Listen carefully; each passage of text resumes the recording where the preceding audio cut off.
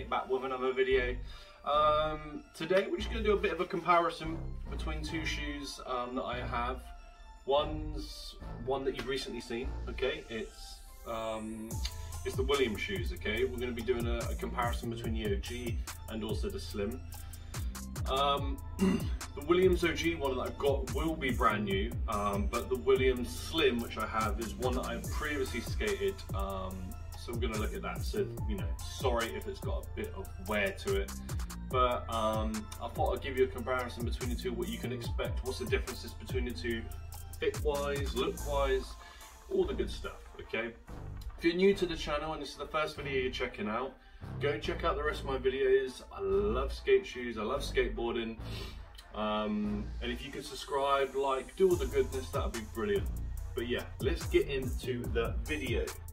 So, Williams OG shoe um, came out uh, a while ago, you know, came out back in the day originally in the 90s, and then they've obviously reissued it um, in fairly recent times, okay? Um, and then also they've looked to, you know, do a, a, slim model because obviously nowadays in this day and age in terms of skateboarding, um, you know, from the 90s all the way up to present, you know, shoes have got slimmer and slimmer. And obviously that's probably the norm nowadays. A lot of people like slim shoes and I, I like them too, you know. Um, there's pros and cons to both and, you know, I have my own preference for skating obviously you guys have. Um, but the general consensus and the general, in terms of popularity, would be that people like slimmer shoes. Um, so I thought when DC came up with this idea, or, or when I saw it, when they saw that they were uh, making slim alternatives to older models, such as the Williams and the Kalis, and obviously the Legacy, I thought it was a really good idea because it, you know it's a mixture of both. Um, but obviously the OG guys, the people that prefer the OG style will obviously naturally na um, will, obviously gravitate towards the OG remakes, which is fine. Anybody that likes the O, who's seen a DGK video or seen an old Kalis video says, oh, I like them, but I'm not too sure, you know, I can't get along with the bigger shoe. You know, they have a, a couple of, not obviously it's not an exact copy because some of the Kalises take inspiration from one shoe. But if they like the look at it, then they can buy a shoe that's kind of reminiscent of the OG shoe. So this is the Williams Slim. This is the colorway I got. I got this a while ago. I have skated it on and off. Um, so, you know, it is a bit dirty. It isn't complete, completely ruined, but um, I have skated it on and off. And there is a lot of positives to this. Like, you know, it does look obviously similar, but it's it's obviously different. And I'll get the OG out so you can see. Um, Luke. So then there's two side by side. Obviously there's a massive size difference, okay, in terms of height of the shoe. Massively. So as you can see here, the slim is a lot more lower. It looks, I've kind of found this with some of the shoes, it looks a little bit longer as well. So if you look at that shoe, and you look at that shoe, it seems a bit long which I think DC need to address because I said this with the Legacy shoe as well. Um, if you just look at them, that looks like all, it looks, it's obviously a big shoe, don't get me wrong, but it all looks um, proportionate to the shoe, you know.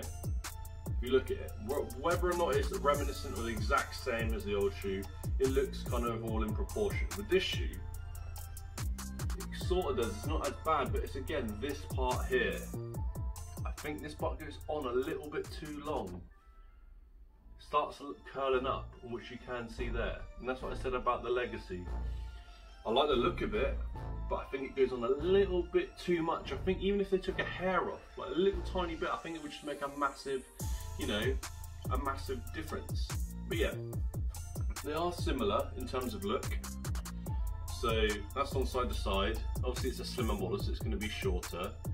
Um, the sole's slightly different, so with the OG you can clearly see there's a kind of a triangle bit in the middle with a gap, noticeable gap, and it's obviously different.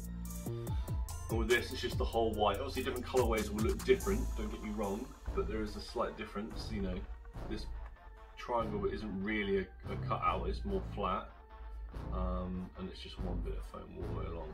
And it looks sort of similar, but obviously it's not. That's the two toes. Obviously it is different. Obviously the tongue, I think they kind of got the tongue, um, the way the tongue and also the laces look, that's pretty well, you know, pretty much exactly the same. And the way they go about it looks fairly similar, so I think that's good. But the front obviously slightly different.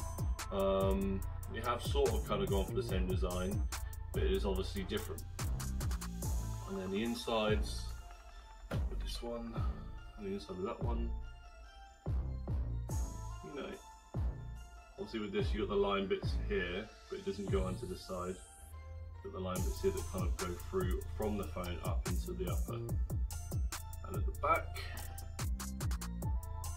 it's completely, well not completely different, but the design in general at the back is sort of different. Where, you know, the OG goes like that, and then with the, this one just goes like that. So they are different. And I don't think, I'm not fully against, I don't think the Slim should be exactly the same as this, but just slimmer. Um, but just in terms of comparison, so we're gonna look at this one. So the one things I do like is that tongue bit. So when you look down, I'll put this on my Instagram as well. I think that's such a nice silhouette in terms of the front there. I think that is spot on. Um, the only thing I would recommend, or would prefer, is that tongue to be a little bit higher um, when coming up. If it was like just like a little bit higher, like like that, where it kind of came up a little bit more, that would look sick, I reckon. But yeah, it is fairly similar. I mean, like I said, I don't know what DC's ambitions were when creating a slimmer model, but I'm guessing they were to make a slimmer model, not a remake, but a slimmer style shoe. Um, a little bit more spot on than obviously the Kalis shoes because that's like they take inspiration. It's not like an exact model. They've looked at the shoes like we're going to make a, a similar DC slim shoe of the Williams, and I think it's good. I do think it's good. Um, again, the only criticisms I would have would be the with the front bit, make it a little bit shorter, a little bit shorter.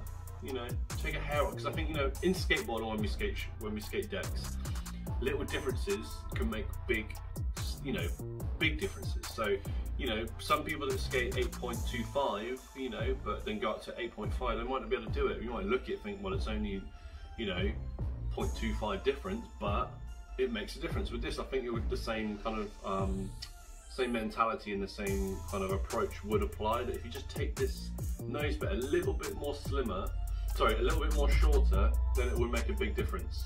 And don't get me wrong, when it's straight out of the box, it looks all right, but it's when you start skating it, it starts going like that. And it just makes the shoe look like, you know. And that's what I'm worried about with the Legacy, because that's similar. Obviously, it's not as well made, okay? Um, you got the typical foamy bit inside. Like I explained, all there's some bits there, but like I said, the same bit as it that happens to be in the, the two other shoes that we did. Um, you know, it's it's a not bad shoe. It's a bit thin here as well with the DC shoes, as I previously said. That's the bottom, obviously it's a bit muddy, but that's a sick design. I like that. It's like you know, take on that. You know, sort of similar. No, I'm not against it being any different, but that looks good. Um, but yeah, similar sort of bottoms. The fit is definitely different with these. What size is this? Alright, this is a 10 and a half. Um, they're true to size with, uh, with this. With this, with this, I don't think it's true to size. I think you have to size up a half because this is a 10, and I normally fit 10 or 10 and a half. But this is a you know a lot tighter. So you know that's the differences with that. Um, but yeah, it's just obviously the difference in terms of the uppers as well. I mean, this is majority leather suede, but this is more suede with a little bit of suede leather, but this is more like suede if I'm being honest. Triple stitching at the front, um, similar look. But yeah, it is a cool shoe. Um, apart from the uh, bigger tongue, in my personal opinion, if, it, if you got it a bit, a bit like that, I think it would look sick but it flops down so it's kind of like that. So that's why it doesn't have the similar look of that. You get what I mean. So apart from the front bit and the tongue it's a decent shoe. I skated it it's a nice shoe. It's reminiscent of the OG um, and I think they got a spot on. If they made those two adjustments I think it would make it a lot better. Um, in terms of price point as well this retails over a hundred pounds and I think you could sort of justify it because it's kind of well built um, and it's a big shoe, and the materials used are, are, good. You know, hundred pounds is still a lot of money in my opinion. I don't really like spending that. I definitely didn't pay that. Um, but the retail is hundred pounds, okay, hundred and five pounds, I think. You know, this retails on the DC store for I think seventy-five pounds, and I think that's way, way too much. This is no more than a fifty-pound shoe, okay.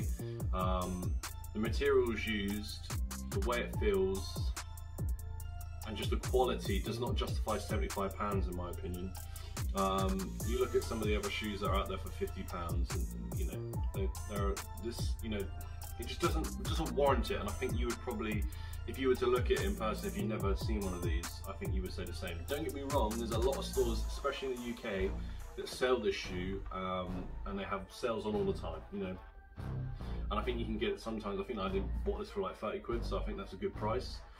But 75 pounds on the DC website, I would not pay that, okay? I would look around, try and find a deal because this is not worth 75 pounds, okay? Um, but yeah, if you like the Williams shoe and you just don't feel like you want a big chunky shoe like this, because it is quite heavy and it is big, and you want a slimmer alternative, then I would definitely recommend it. Look around though. Um, but yeah, that's the differences between the two. I'm not gonna get the other shoes out because you know the other one's pretty busted, busted up. Multiple colorways in this one as well. Um, it's probably about seven or eight, I reckon. Um, and they, you know, DC release more and more every kind of every every so often, every quarter or whatnot. And if you, there's only like three colorways I think in this one. You got the white and red one, which is a limited run anyway, like a Love Park sort of pack.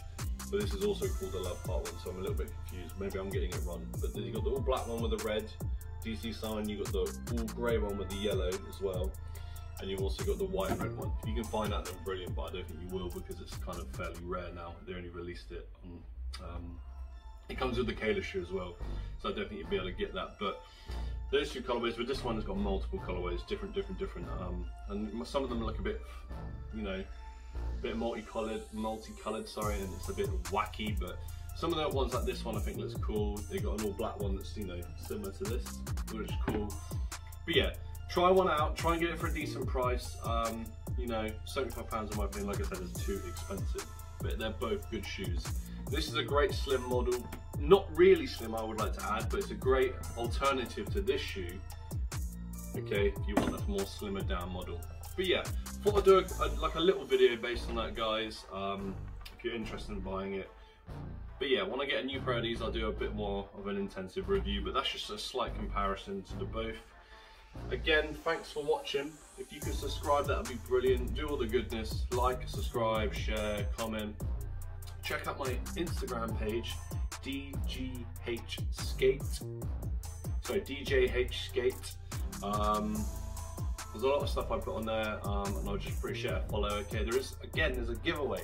It's currently a giveaway, so check that out as well. Go to my Instagram page and check it out. All the details will be in the bio. Sorry, the link. Sorry, will be in the description below. God, my voice is going again. But yeah, again, thanks guys. Thanks for the support. DJH Peace. We out here. Bye.